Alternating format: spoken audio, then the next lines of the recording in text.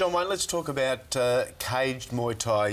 Your invention up on the Gold Coast. We've got the the different uh, attire here. How much different? Mate, it's a completely different rush. The not only is the the cage a, a completely new element to fighting, uh, but the gloves we've gone from a 10 ounce gloves to, to uh, fours. Uh, I, I've just reinvented the, the. I've got new sixes now because the first two shows, everyone was getting damaged when they come out of the cage. I noticed a, lot of cuts and bruises, so I've made them sixes to make a little bit more padding. Um, and being such a big fan of the MMA and the UFC, uh, it's hard being a, a fighter to see these guys fight every weekend, and then for me to fight in big gloves, I just feel like I'm. I don't feel as hard. I, I feel like I'm. I, I feel like I can be just as tough and just as much of a warrior as the UFC guys can be, and the only way to prove that is to fight in the same gloves and have the same um, uh, fighting uh, venue in the cage. Well, loo- Looking at the gloves here, obviously the traditional glove there, you'll see the, the padding.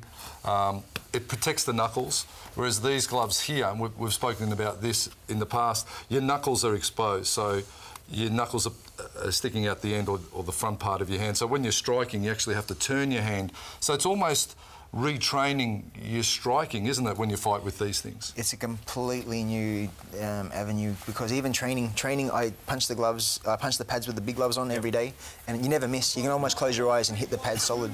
But with these ones, uh, every punch, um, you, you almost have to be laser guided to hit the pad exactly in the same spot every time.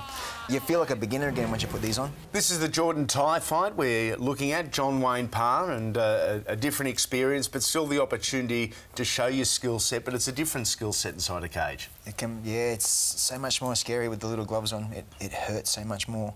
Uh, so you, you had to work on your footwork because you didn't want to stand in the pocket to get hit. You can't just cover up, take a few, then give some back. Uh, and then even though I won the fight, my I couldn't touch the top of my head for five days. So the the gloves definitely get your attention. Hammer, as a trainer, how different would you be looking at training an athlete from one to the other? Yeah, it's totally different, Andy. I've played around with those gloves, and it's the striking really, Yeah. and, and the body shots just hurt a lot more, even, Yeah. even those rips. But even when you're hooking, if you hook traditionally, you know, you sort of can lead out with your knuckles, Mm. you know, and the gloves do allow for that.